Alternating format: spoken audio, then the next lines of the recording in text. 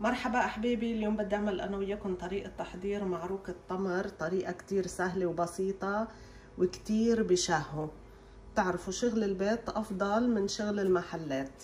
طريقتهم كتير من أول تجربة إن شاء الله بتنجح معكم شايفين الشكل؟ الشكل بعقد بيحكي عن الطعمة. هيدا الشكل بعجينة قطنية وكتير كتير طيبة وناجحة وإن شاء الله بتنال إعجابكم. لنبلش الطريقة مع بعض. بسم الله. أول شي بنحط كوب حليب فاتر.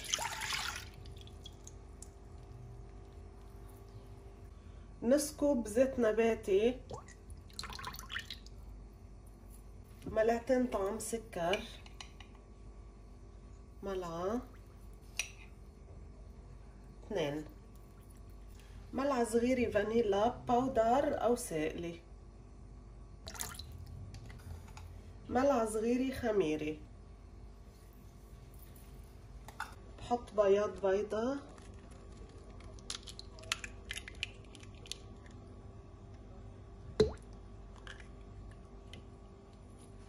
خلطهم مع بعض شوي.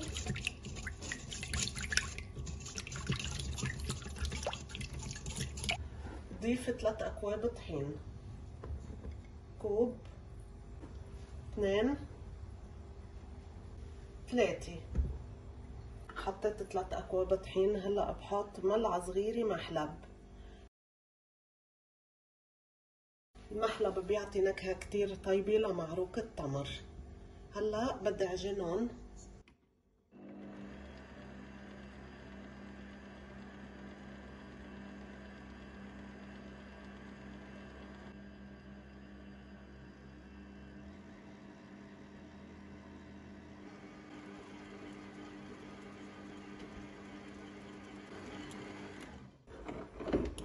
خلصت عنا العجينة.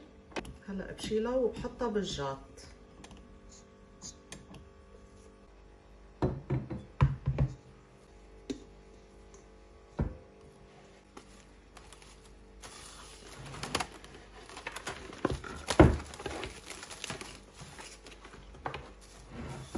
بعد ما حطيت العجينة بالجاط هلا بحطها بمكان دافي حوالي ساعة ليتضاعف حجمها.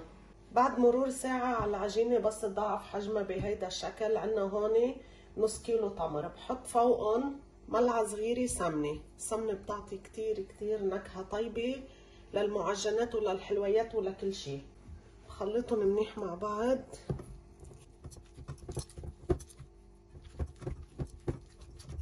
بعد ما خلطت التمر منيح مع السمنة هلأ بحطهم على جنب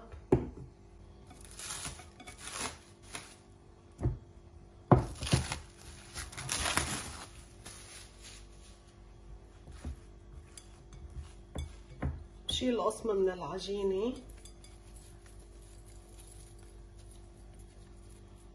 ما شاء الله ريحة العجينة كتير حلوة.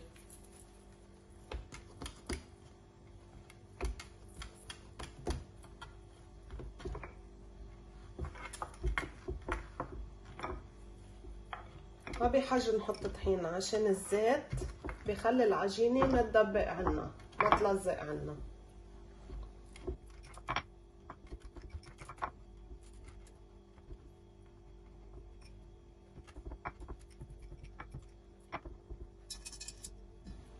بعد ما عملت العجينة بهيدا الشكل هلأ بعمل تمر. بهيدي الطريقة رح أعمل التمر.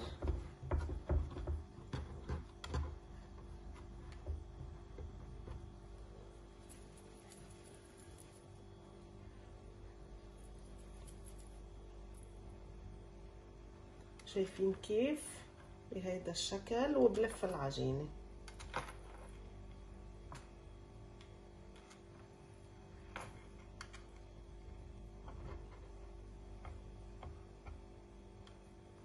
بلزقهم من هون منيح.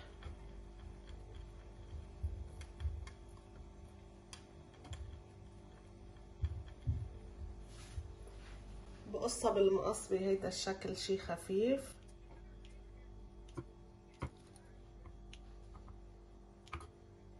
هلا بحطها على ورقة الزبدة. كمان نفس الشي وبرق عجينة تانية.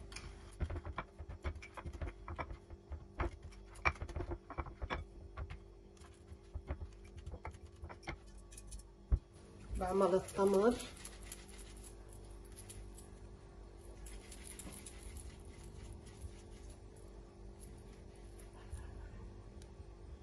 بحطها بهيدا الشكل بقلب العجينة.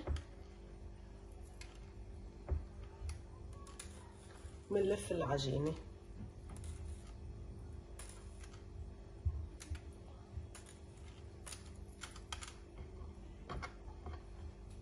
نفس الطريقة. بكبسهم منيح مع بعض هون بوصلهم منيح مع بعض. وبالمقص.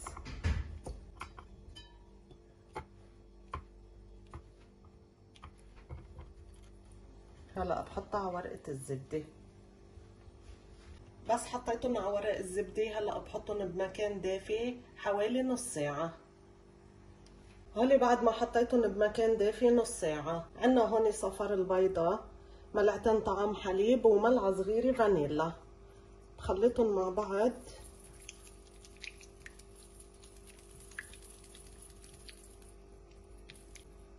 بدهن الوجه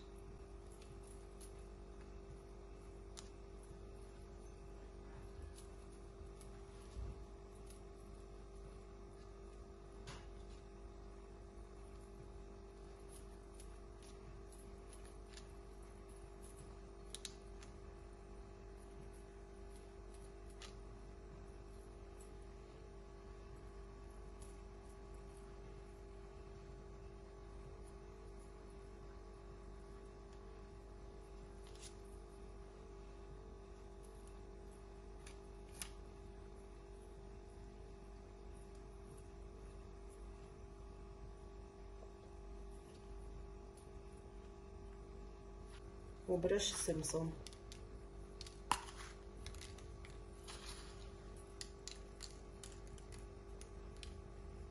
محمل الفرن على درجة حرارة 200 من الأعلى والأسفل. هلا بحطهم بالفرن. هول المعروك اللي عملتهم أنا وياكم أخذوا بالفرن 8 دقايق. هيدا الشكل النهائي. لونهم كتير كتير رائع وحلو. عملنا 3 صواني بالعجينة اللي عملتها أنا وياكم.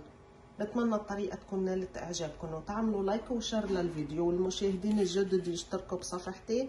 وإن شاء الله بشوفكم بالفيديوهات الجاية bye bye أحبابي.